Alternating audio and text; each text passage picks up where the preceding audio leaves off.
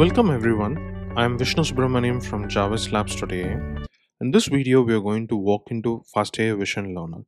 To do that, first we'll set up an instance with VS Code running on it so that we can explore the code in an IDE. So I'll show you how we can do that in Jarvis Labs today. You can choose a framework of choice that you want. In this case, well, let's choose FastAI. Any GPU type that you want. If you want to save on money, you can choose a spot instance. It costs you $0.19. Choose the number of GPUs. I think in this case, one is enough and click on the launch.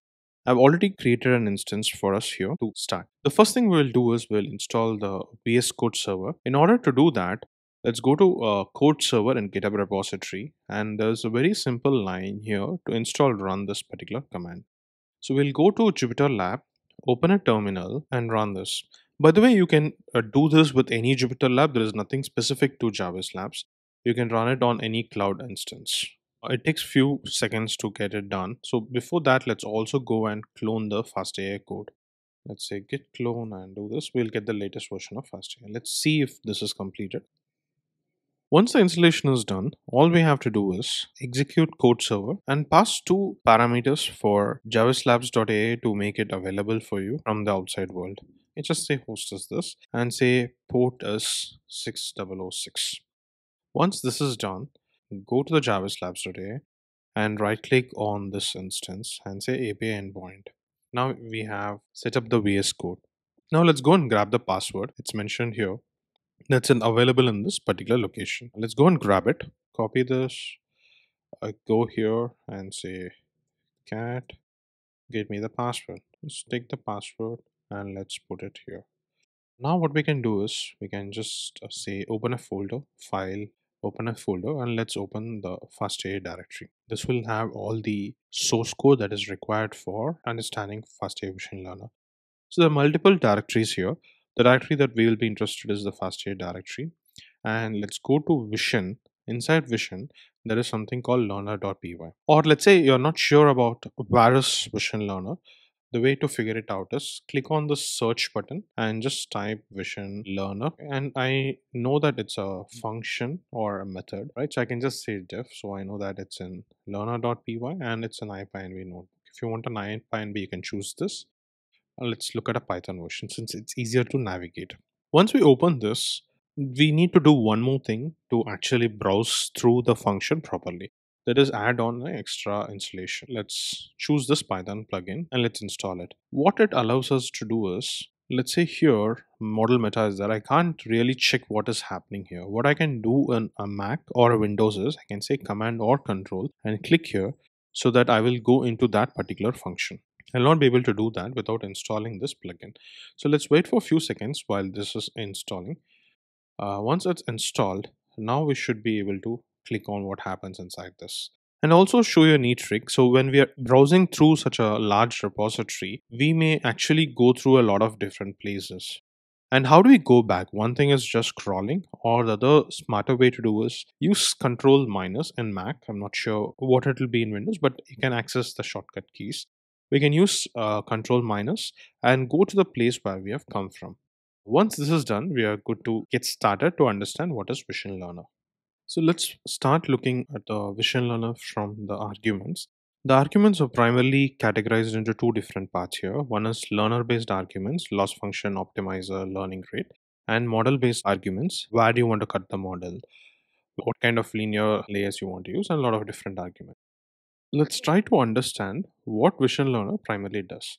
It takes up some model primarily from either timm group of models or the FastAI Vision models, which is based out of both Torch Vision and has its own models, like XResNet based models, right? It takes any of these models and customizes it or changes the model that is suitable for the problem that we are trying to solve. For example, a ResNet 34 model is primarily trained for image classification of 1000 categories. But in our case, we may want to categorize only whether a given image belongs to two or three categories. Let's say identifying a Marvel character. So we want the output of the model not to be 1000. We want that output of the model to be say some 3 or 10. So Vision Learner is responsible for doing that. How they do it, let's look at.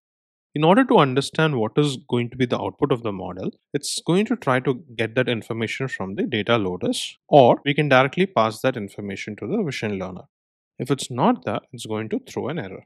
Basically, if n out is none, it's going to throw an error asking us to set it either through dls.c or directly pass the n out to the learner. Next, what it tries to do is it tries to get meta information of the model meta. Let's say we use ResNet 34 architecture. Then we go to model meta. It's going to look for ResNet 34. Uh, we have ResNet 34 here and it's going to return all the values of ResNet meta. So there are three key value pairs. One is cut, split, and stats. Stats contains the mean and standard deviation of the ImageNet stats dataset, and split contains a function called ResNet split, which should be here, which basically splits a model primarily into two groups, body and head. Then it further divides the body into two different categories, till the sixth layer as one particular group, and after this as another group. This is useful for discriminative learning where you want to train the model with different learning rates. Let's say this is training from the scratch. Basically, the head of the model is training from the scratch. So you want to learn this at a bit higher learning rate. And since these are already trained part of the model, you want to train them with a very low learning rate. And the split function is responsible for telling the optimizer how to treat the parameter groups. Params is another function. All it does is it iterates through the model and just creates a list of all the parameters. Now let's go back to the vision learner. We came a lot out of the vision learner. Just to make sure that we remember this, let's add a comment here understanding what exactly happens in XNet ResNet meta. Here, let's just take a note of it. Then what we are doing is we are converting all the model related arguments as a dictionary. And uh, one of the common mistakes that we may end up doing is not normalizing the data when using plain vanilla PyTorch. So here in this case, if normalize is true and by default it is true, we are adding normalization layer to the data loaders. And it internally checks if the data loaders contains a normalization layer or not. If it's not there, it adds. Then based on the type of the architecture value, arc value, if it's a string, then FastAI tries to create a timm model.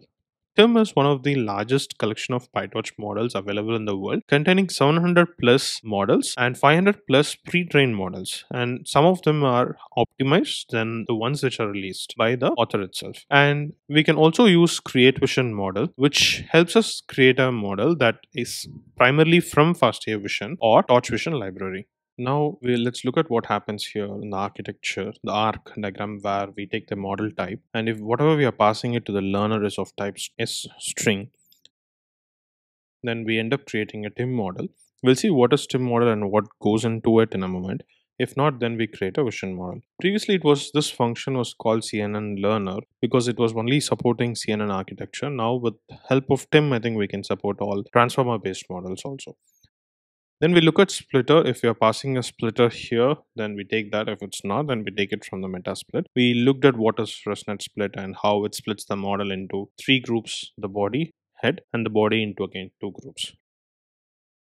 Then we pass on all the created different models and the other values to the learner. Once we do that, we call learn.freeze and then we store the attributes, then we return learn. And when we return learn, the first thing we generally do is we call learn.finetune. Let's also explore where the learn.finetune is implemented and how do we search for that particular function. I'm not sure where the fine tune is. So what I'm doing is I'm going and searching in the search, which can be accessed by here. And I can see there are a lot of fine tunes, but this one starts with def that I know that it's a function which I'm most probably looking at. Or let's say you want to look at a IPython notebook rather than a py file, then what you can do is let's to make it simple, let's say def and we get 2 you can also open a notebook. Okay in this case let me actually open a python file. We can see here there is a freeze which basically keeps all the gradients in the same place basically doesn't change the weights of the body when you call freeze the freeze internally causes a function called freeze_to and that is responsible for doing that. And when we say unfreeze we make the entire model trainable and we have fit one cycle. So there's a simple thing called fit which we have, have seen in our earlier video where we just pass the data through the model and we don't change the learning rate. But there are different learning rate schedulers. Fit one cycle is one among them it changes the learning rate. And in fine tune we call fit one cycle once after you freeze and we unfreeze and we use different uh, learning rates and we call fit one cycle again. So this is what is happening in fine tune. If you're more interested in uh, schedulers you can also take a look at fit one cycle. Hopefully i'll try to make a video on how fit one cycle also works. I think there are some amazing good resources on Fit One Cycle. Probably I'll point them out in the comments. So that's what happens inside Vision Learner. So now let's go and try to understand what happens in a timm architecture. Let's check what happens inside a create timm model by looking into it. So we can see that there is something called body and there is something called add head. We can either go inside timm body and add head and try to understand what happens or let's try to uh, understand what happens by just using a plain Jupyter notebook. So I've installed timm library. So you can install it in two different ways. One is by simply saying pip install timm or you can also use pip install from the git repository. This contains the latest version of all the models. So if you want to explore the recent models, I would recommend you to try out this. So we can list all the models in available in timm using this. This also contains other optional features like filter. We can pass in a regular expression here. Let's say, for example, we want all models with ResNet. We can just say res and star. It kind of gives all the models. So it starts with that. We can also say whether we want pre-trained models or we are okay with both pre-trained and not pre-trained. Pre-trained models are the ones which know how to basically recognize one of the ImageNet classes. So we just uh, looked at the length of all the models that are 836 and we just printed some of the 10 models. If you have been already using timm, you should be mostly aware of this. From timm, we can create a new model using timm.create model we can just pass the model name and say pre-trained equal to true, we get a model. Now let's try to print the model till the last layer. And in order to do that, we have to make it as a list of nn dot modules. If you are not sure about nn dot modules, I would recommend you watching one of my videos on nn dot modules. Once you say mm, m.children, it gives you all the list of modules and let's see how it looks. So this is how the actual architecture looks like. We are taking till here and then let's see what the actual head of the ResNet 34 model looks like. It contains basically an adaptive pooling layer and a linear layer. So mostly, most of the ImageNet model contains this particular architecture and it outputs 1000. So FastAI has this uh, function called create head, which creates a custom head, which kind of replaces this adaptive pooling with a concat pool. Basically, it concatenates an average and max pool. It's a very interesting thing. I would recommend you to uh, take a look into it. We can build this without create head. The code and create head is also very simple. You can explore it. Once we do this with the new head we can combine the new head and the body of the ResNet model. Either we can say nn dot sequential and we can pass the body and the head that we created here. Or FastAI also have another function called add head to which we can pass the body of the model. And we can pass in the uh, extra arguments that we need to pass to a create head here, which actually creates a new model that combines the body of the ResNet 34 along with the model that is generated by create head.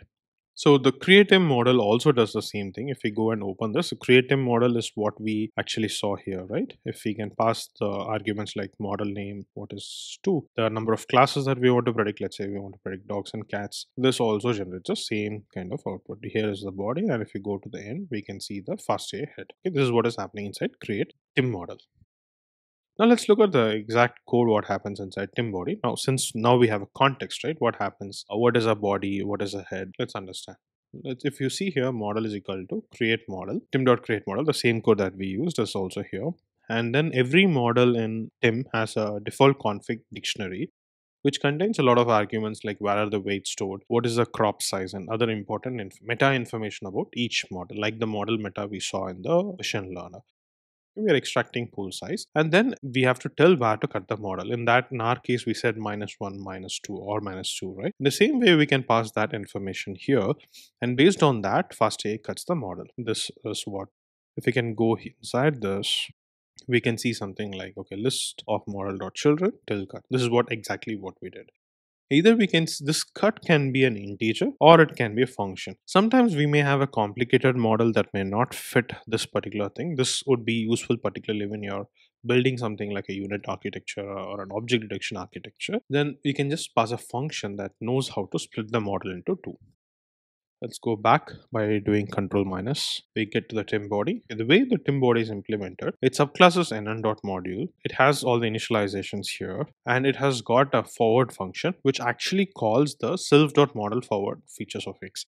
What it basically does is it returns the output of the model before doing an average pool or max pool before the pooling layer. This is done when there is a pooling layer. If there is no pooling layer, then it just passes the input to the model and gets the output. So this is what is happening inside timm body. Now let's come back to the create timm model. Now we know what does a body contain. It contains all the convolution blocks mostly or any kind of neural network till the pooling layer. Then we take the number of features. Basically features is, let's go to the original model. We can see if you see here it's 512. This is what it generates. Let's say this model has num features it's 512 so it's stored in enough and then we create a add head which takes the body as input and the number of filters that passes on from the body and what is the output we need. And initialization and if we want any custom head we don't want to use fastAI head whether we should use concat pool or not it's a boolean value and other couple of information. We can also go into add head, which does pretty much what we did in our Jupyter notebook. It looks like the add head function is not implemented in a typical way so what we can do is we can do a def of add head and it's an actual learner.py. If you see here, if head is none, we are not passing any head, then we are calling the create head, then we are calling nn.sequential body of head, and then we are applying the initialization parameter. That's what is happening. So now we understand what happens in timm model, what happens in Vision Learner, if you want to explore further, I have not spoken about Create Vision model, but if you go and take a look at it, it also has a pretty similar architecture. Just that instead of using timm, we will end up using Torch Vision models or FastAI models. Uh, now let's try to summarize what all we learned in this video. It, I think decently long video and you may prefer to watch it in parts. First thing is we saw how do we set up code server and explore a large repository like FastAI and how I hop from one place to another. And we also walked through the Vision Learner class. In the Vision Learner class, we learned about the model meta. We saw how a normalization layer is being added. If it's not added in the data loader and how it why it is very important for model training. We saw how a model is being created based on if the arc is a string, then we created timm. If it's not, we created a Torch Vision model. We created a learner object inside machine Learner. And we saw how do we find the fine-tune function in the source and what happens inside a fine-tune. We also walked in depth about how create timm model works, what is a model body and what is a model head.